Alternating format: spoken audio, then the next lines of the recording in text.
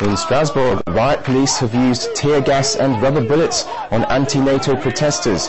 Thousands are expected on the streets on Saturday, along with a huge security presence. Over 300 have already been arrested at anti-NATO rallies in the city since Thursday.